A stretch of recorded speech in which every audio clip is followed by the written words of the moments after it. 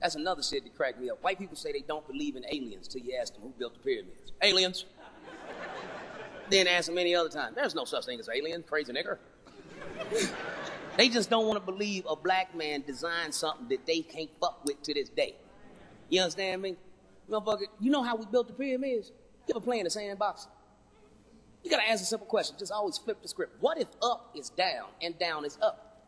What if you look down into space standing up on Earth? This is how we built the pyramids. You play in the sandbox. It's easy to move a mountain of sand into position. Once you wet sand, it holds its form like concrete. You put the first brick at the apex of this motherfucker, right? You move sand out of this corner and that corner and place bricks there on both sides all the way to the top. Now you let the sand dry out and drop that brick right through that bitch. Sand under pressure when it's dry moves like fluid.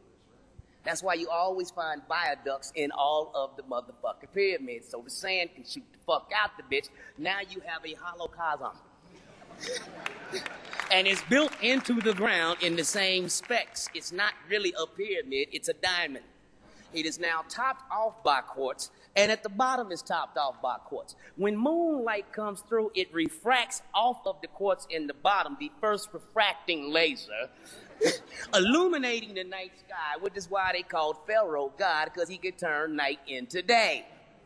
Thus, the all seeing eye on your dollar bill above the pyramid part of the human body made out of quartz is a human eye. When it dries out, it's small granules of quartz. That's why light transfers through it.